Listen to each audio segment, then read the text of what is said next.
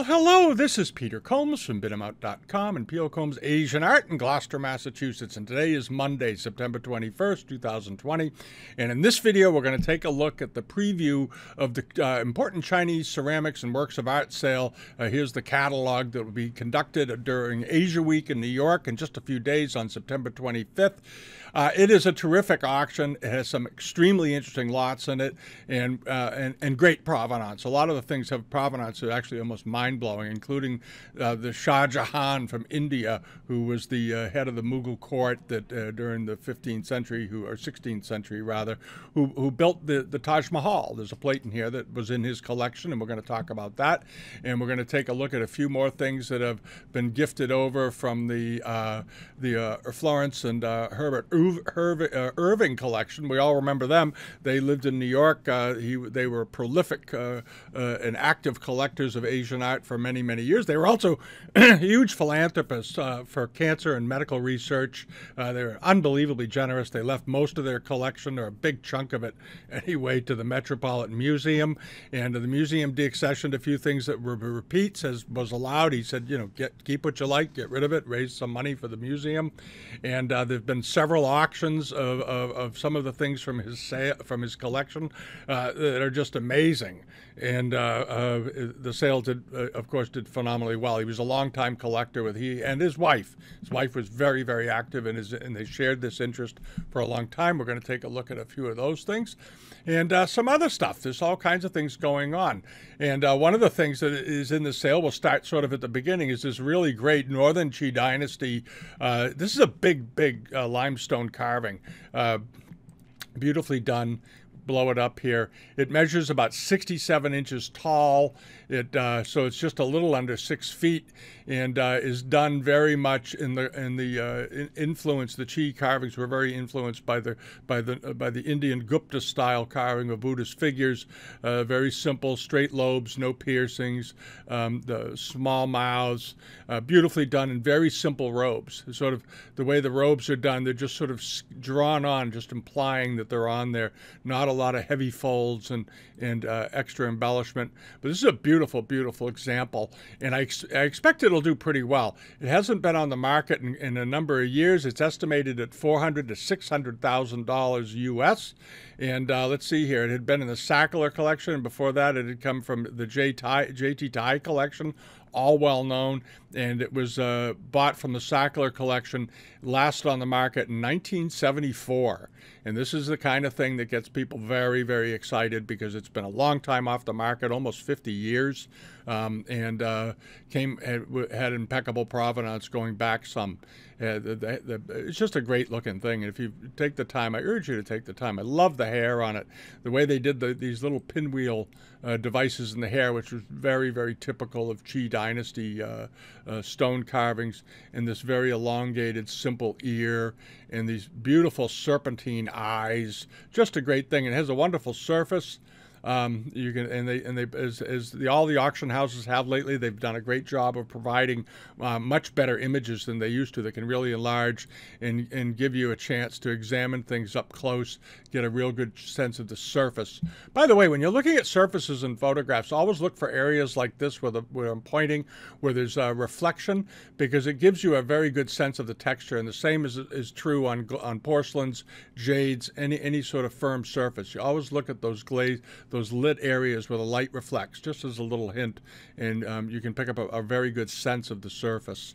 All right, four to six hundred thousand. We'll see how that goes, and then on to this. This is something from, uh, I believe, from the Irving collection. Yeah, this I'm kind of surprised. I'm not sure why this is being sold. Maybe it wasn't offered. It originally was uh, by repute had been sold by C.T. Loo, the famous uh, Chinese dealer, and then sold quote the property of a gentleman in 1983, and then Spink and Sons had it and, and sold it in 1983 to the Irvings. And uh, this is uh, an absolutely exceptional uh, carved jade uh, Qianlong period elephant.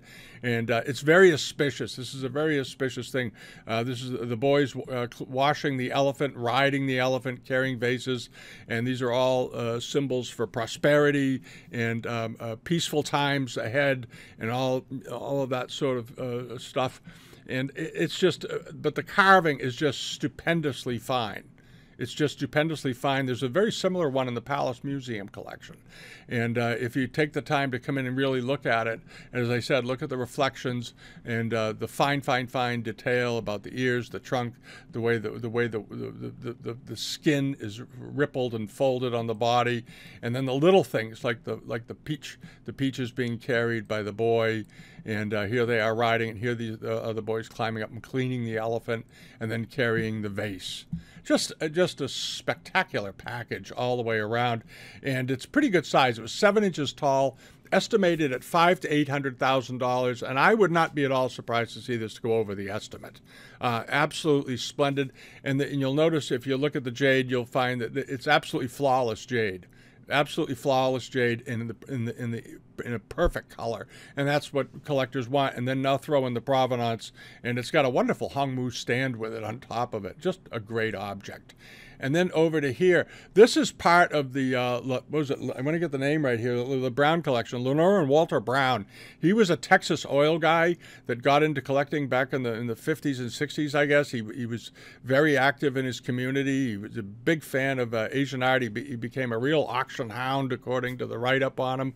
I'd heard his name, but I didn't know much about him. I'd heard he was involved with a museum in Texas um, and uh, donating objects. And this is just some of the stuff he owned. He loved Ming Dynasty ceramics, really did. And he loved, and a lot of his pieces were uh, very focused on, on the types that you'll find of uh, Yongle Xuande period that you'll find in um, in India and in uh, the, like the Topkapi Museum and so forth. And one of them uh, is this absolutely splendid. Um, uh, uh, Ming Dynasty Yongle dish, and it's a, a, rather unusual dish in that the uh, the rim, the outer rim, you notice if you've seen enough of these, you know that they typically have a wave border running around them, and this one is fairly rare because it has an everted rim with, with scrolling vines, and the heaping and piling effect on this on this bowl is just exceptional. And as I said, you can you can go to the site, you can pull it in and really really get a good look at it. Superbly well painted, uh, very sensitively drawn and it of course has a, that that that very uh, standard unglazed back. And uh, lately with fakes they copy these, but this is what the back of a real one should look like.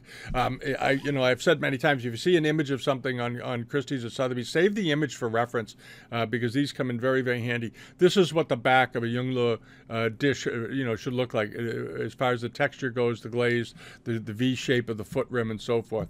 Just a, a really really great looking dish, estimated at two to $300,000. It's good size. It's actually 15 inches in diameter, but uh, a, a, great rarity. And then moving over to this one. This one is uh, also from the uh, uh, uh Brown collection. Uh, just absolutely great. And what's very interesting about this one is you notice that the, the, the, the flowers in the center are coming out of the ground and growing up and spreading out the way they do. They, they, they put normally they don't put the ground in um, so the, these plates aren't directional. This plate is directional, basically, and this is how it should be viewed. Here's the ground, and you have one one plant coming up and then spiraling out into all these extra vines and flowers. It's just a wonderful treatment. And uh, again, uh, the decoration is superbly well done. Uh, nice heaping and piling effects all the way around. And then I love the the uh, repeat of sprigs around the border. Just nicely done, very generously spaced, and so forth uh, an exceptional plate. And again, um, uh, Yongle, and they show you a picture of the back of it. And here's another back. So you can build yourself up a nice index of what, what these plates should look like, give you a sense of the texture of the uh, paste and so forth. And of course, the back is entirely decorated with more vines. A great example, it's estimated to 100 to 150,000 dollars, just a little under 14 inches in diameter, 13 and three quarter inches, and uh, has good pro- uh, provenance. It was last uh, sold at Sotheby's Hong Kong in 1987. That was a while ago. And uh, this was what seems to be when the Browns did a lot of their, their sort of heavier purchases on rarities. All righty. And then on to, uh, let me see, there was something I wanted to see before I did that. There we go is uh, dun, dun, this one. This is the one that uh, has absolutely amazing um, uh, provenance, okay? And if you look right here, you'll see who it is. Shah Jahan, 1628 to 1658, the fifth emperor of the Mughal dynasty. And how they know that is that this plate was inscribed to him um, after it was made. It was made in China, obviously, and it was sent to India. And uh, if you uh, scoot along here, there it is. There's the mark that was placed into the dish. He was an avid collector. As I said before, he built the Taj Mahal for his wife, uh, the famous Taj Mahal. Um, he was a, a, big patron of the arts, and uh, they had he had a very good relationship with China as far as trade goes. It was a, a great period. It was the, the, the, the era of the Shah Jahan was one of the real high points artistically in India. It was one of the great, great periods uh, for, for, for, interest in the arts, cultivation of the arts, and so forth. And this plate was um, um, in his collection. And you, it, you know, provenance doesn't get much better than that. And this is a very lovely barb rimmed example, uh, again with beautiful vines and uh, uh, nice looking these lotus uh, shaped devices running around the rim. Uh, that that that that slightly bluish white glaze, and then of course the heaping and piling effect, and all the scrolling vines that go with it absolutely great Yongle dish, and it measures also just a little under 15 inches in diameter. It's estimated at two to three hundred thousand dollars, and I, I can't, I don't know, I don't know how this will do, but I, I, I suspect a collector would just absolutely go crazy for this, given its history. Um, uh, from a very, very important collection dating to the 16th century. These pieces that have these early ownership uh, records do not turn up often. They are extraordinarily rare. And uh, it's been in, uh, it was in a private collection up until 1980. And then at the bottom, as it says, Lenore and Walter Brown Collection, San Antonio, Texas. All right, doesn't get any better than that. All right, and then hopping over to uh, this is a really nice Qianlong period Lung Yao Mei Ping vase. You've seen them before, but this is a really pretty one, and I wanted to share it because the glaze on this just is absolutely great and uh, uh, even, warm, uh, very strong though. It's a, but it's, it's but it's just an absolutely lovely example, uh, beautifully done. I love the texture of, of the colors, how how it goes in and out. You have these little white areas, light and dark, light and dark, and that beautiful. Notice again in this reflection, that lovely sheen of the glaze is how it should look. Shouldn't be super glossy.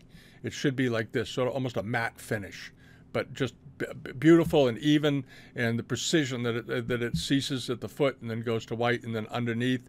And they did provide an absolutely great photograph of the bottom of it.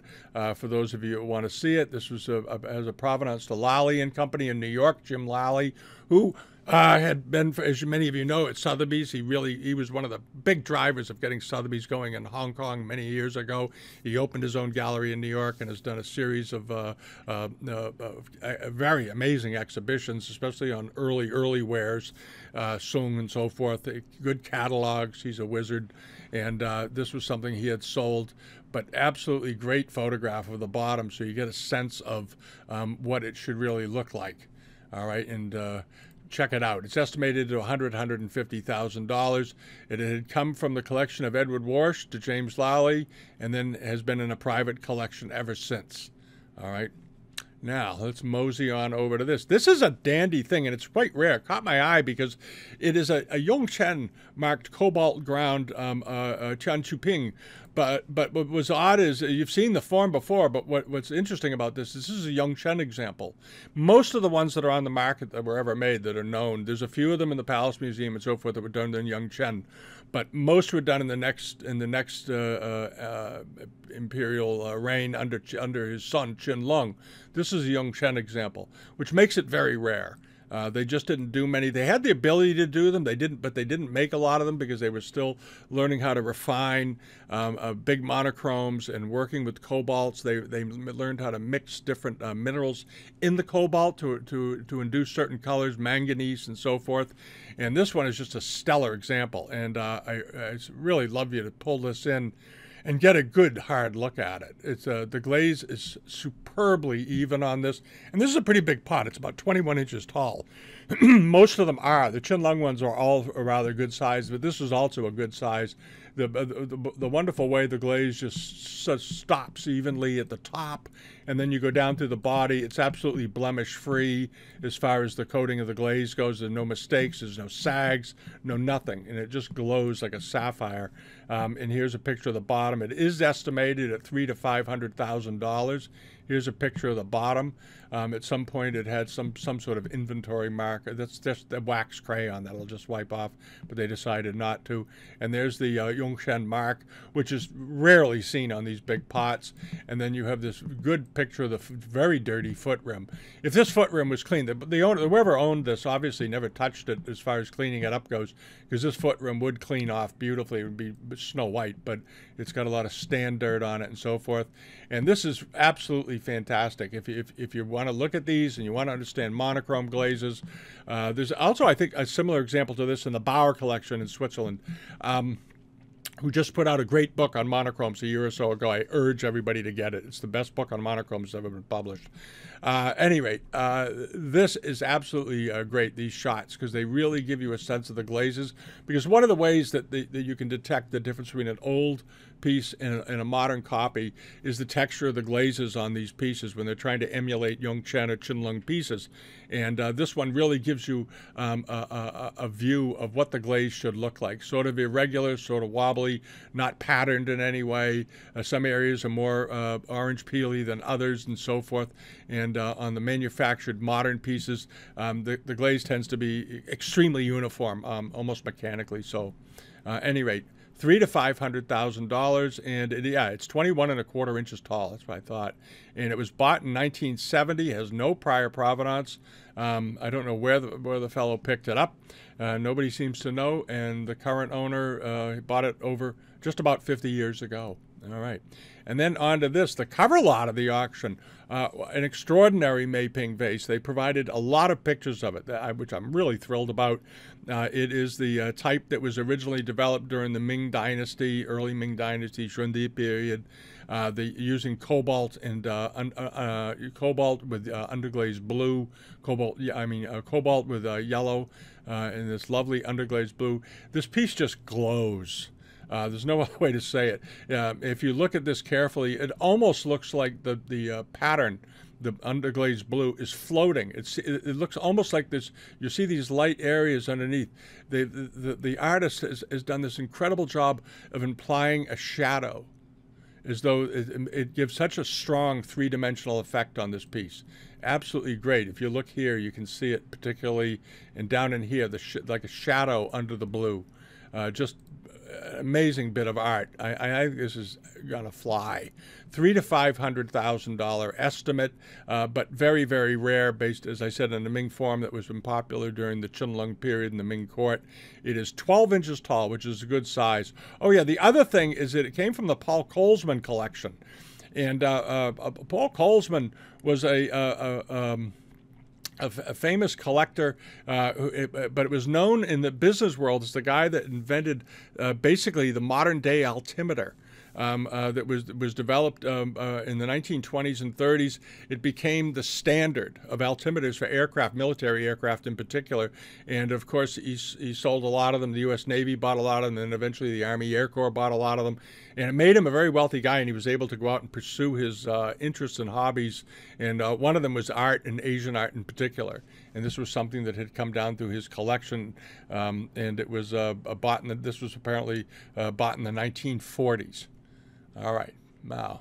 A great thing. Again, provenance, provenance, provenance. And uh, it was sold at Sotheby's last in 1998, uh, about 20, 22 years ago.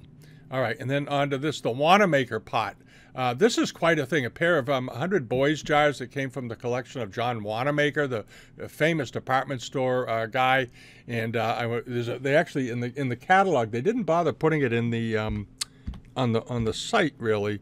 But if you go over here, uh, here's a picture of it, and there's an absolutely great uh, story about the family and how they owned, uh, how they collected, and who, how things got passed down. Here they are in Philadelphia. They were fantastically wealthy people, patrons of the arts, and uh, this picture was taken in 1904 in Florida while they were on vacation. And uh, on the on the uh, top left is John Wanamaker. This is the fellow right here that that owned this jar. And uh, these jars, there's plural, there's several of them. but there's an excellent write-up in here. Um, come over and read it because these are these the hundred boys jars. The hundred boys thing have, have, to do with you know fertility in large families and happiness and prosperity. And it was a pattern that was a, a, a, a decorative motif that was started in the uh, uh, Ming Dynasty on in blue and white particularly, and then um, uh, evolved during the Qing Dynasty, especially in the Yongzheng and Qianlong period, into enameled porcelains. And uh, I love this this scene here, and I love the kids because one of the things that you'll notice um, uh, in these early, early uh, uh, Qing Dynasty uh, paintings of the Hundred Boys is that they always depict them. They always seem to depict them at least once riding a hobby horse, because a hobby horse was a, uh, a Chinese invention uh, which makes it sort of interesting because people always think of hobby horses being from the Americans' Wild West. No, it was before that. They were using them as toys in China, um, and, and and and then of course uh, they started using them here. I don't know if the West adopted them from the Chinese or it just seemed like a, a natural evolution of toys for children. But at any rate, there's some absolutely great pictures in the catalog, and as always, you can enlarge them and study the drawings, study the faces, and so forth. But these hundred boys jars are fantastically rare, and uh, I suspect uh, it's going to do quite well um, uh, in the sale when it comes up. Let me see here. What's the? Uh, didn't even look at the estimate on. What's the estimate? Yeah, six hundred or eight hundred thousand to one point two million. Um, and here's the here's the uh, the the the, the uh, provenance on it. Uh, never been auctioned that anybody's aware of. They measure about 11 inches tall and are splendidly beautiful. So we'll see how those do. All right, now mosey back over to one more. Uh, there, this. Another unbelievably rare thing. This is a, a, a Qianlong to Yongzheng period figure. They don't really know when. And uh, is you know during the, during the Qing Dynasty, Buddhism was the sort of the official religion of the country, and uh, as a result, a lot of a lot of artwork was uh, uh developed uh, around the around the religion. And this is a, an absolutely spectacular porcelain famille rose enamel decorated uh, scene of a, a seated Buddha holding an incense burner in his hand. Um, on top of a very naturalistic rocky throne. And you'll notice that this decoration here um, uh, of, of, the way the rocks are done is also the same way they did rocks um, in, in one dimensional paintings on porcelain. It's the pattern, it's the style of how it was done. But the way the robes are done on this figure and the facial expression, that, that almost looking like uh, like like creamy ivory, the superbly modeled eyes, nose, and so forth is just exceptional. And again, here they've provided a great number of photographs that are very handy to look at.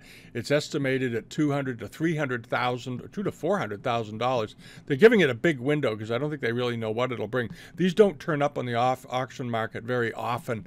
Um, one did about uh, ten years ago, as I recall, or something, but that was about it. Um, it is a, all, the only provenance on it is that it's from a private collection in the United States. It's nine inches tall, and um, it's gonna it's gonna do very very well. Here's they also provided a terrific picture of the back. It's always good to look what the backs of things look like. There you go. Um, again, uh, even more three dimensional the way they did the rocks on this than, than the first one, which I think is fascinating. Uh, but but you know to, to, cast these and carve these and make these in porcelain at that time was quite a tr- quite a trick. And then moseying on over here to this. This is one of the best robes I've seen in a long time. And we talked about a robe from the same period in the video last week that was sent to that was sent to Nepal and ta- tailored. I think it was the uh, Doyle sale or the or the, or the Bonham sale. Um, here's another one, and this is what they um, um, looked like uh, before, if, if, if, they're not retailered. This is one that was sold by a, a, British dealer I happen to have met a number of times named Bob Brandt, Robert Brandt, uh, great guy. And uh, this is a robe he apparently sold some time ago. He knows a great deal about textiles. And uh, absolutely splendid example. Absolutely splendid. And it's in an incredible condition given its age. This is an early 18th century robe.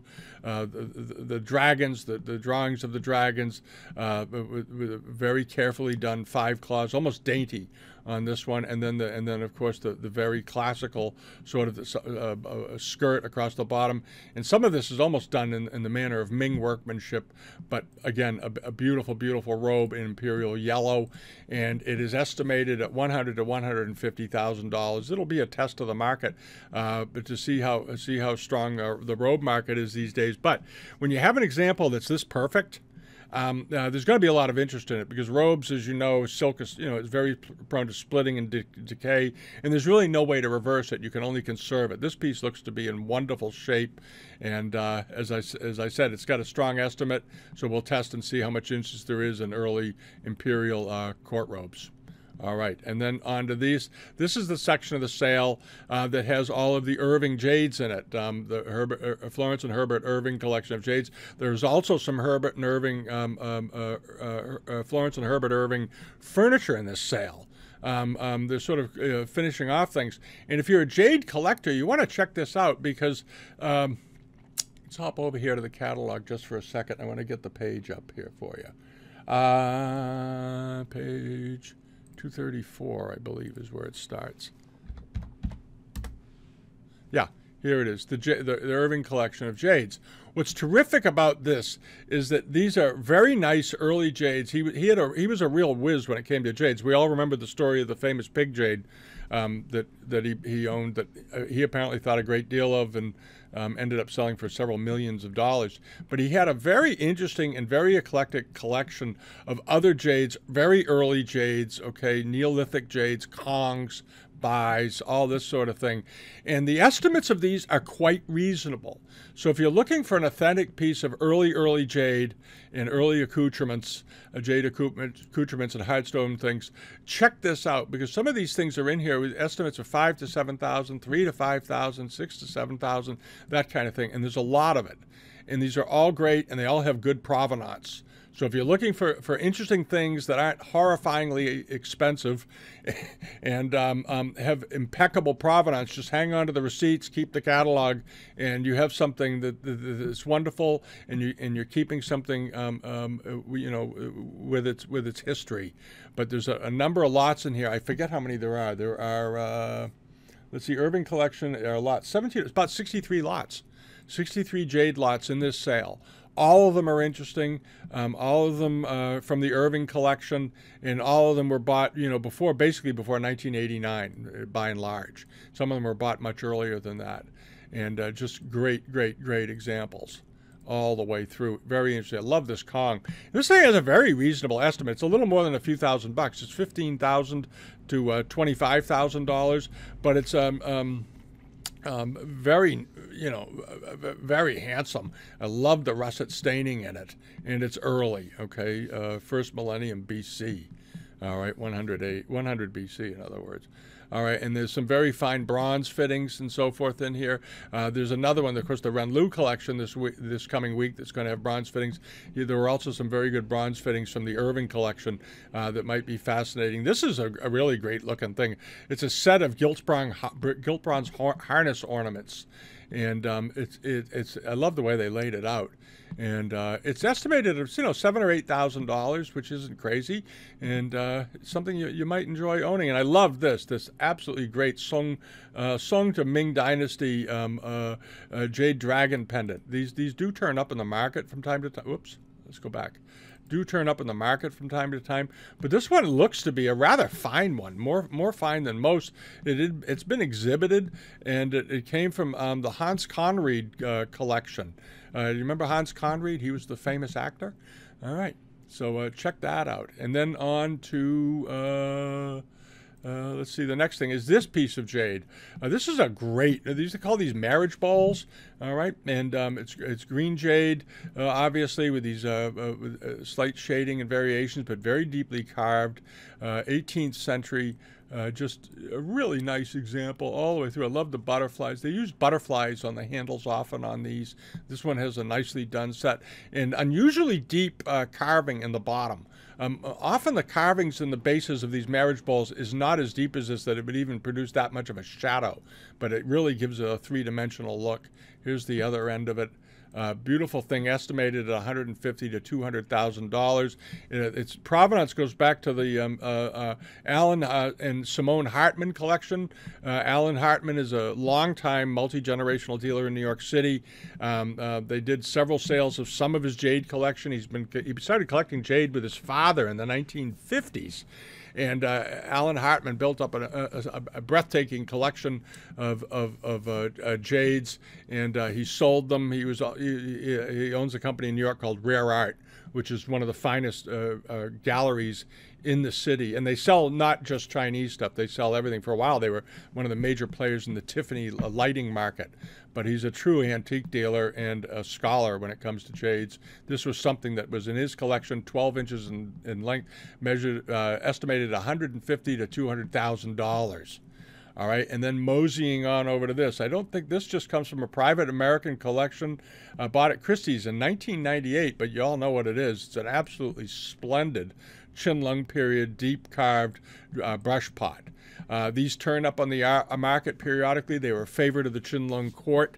Um, the scenes on them tend to be very deeply carved, uh, uh, uh meticulously carved. Though you'll notice when you look at little things like the, uh, the, the, the fellow pushing the cart here with all the objects in it, everything is perfectly displayed and then you have these beautiful, beautiful uh, pine trees coming up out of the uh, out of the out of the rocks coming down off this mountain, and the stone has lots of variation in color, which makes it makes it sort of evocative.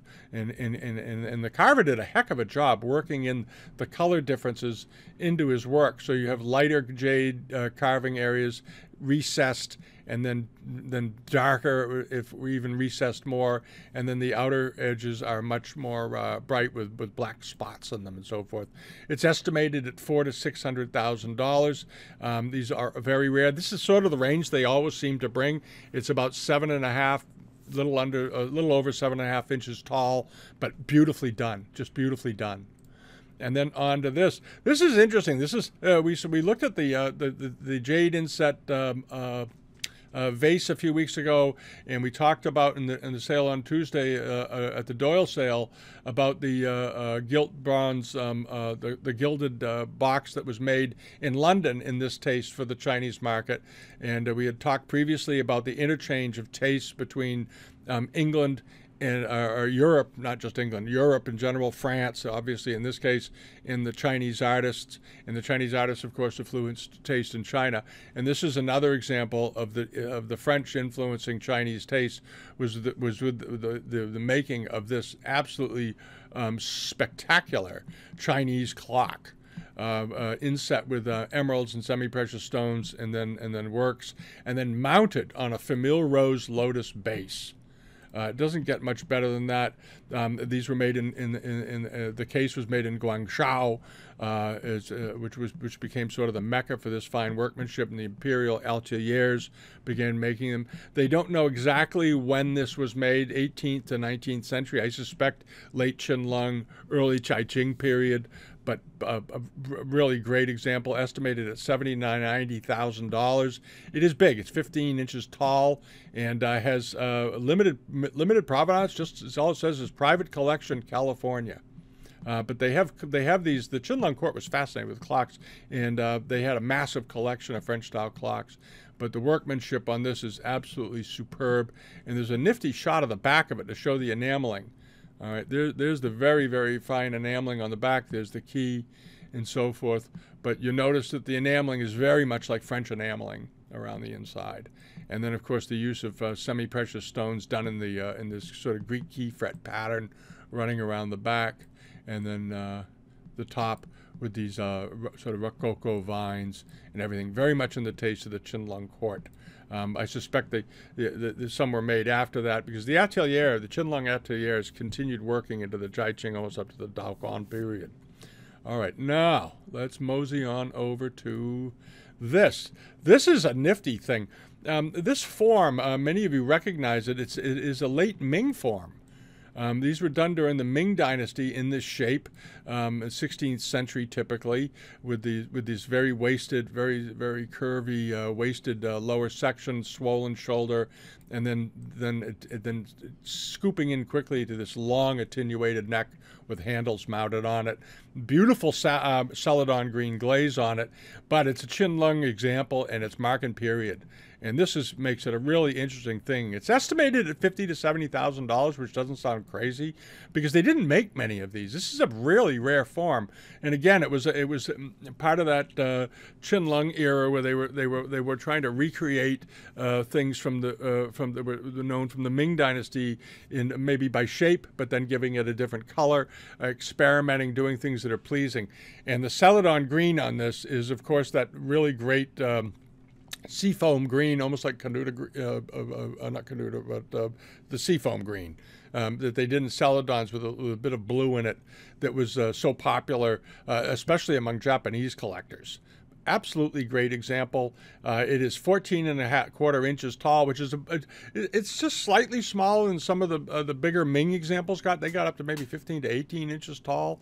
I had one years ago that was the a Ming one that was um, in Sun Kai glaze, and I think it was about 17 and a half, 18 inches tall.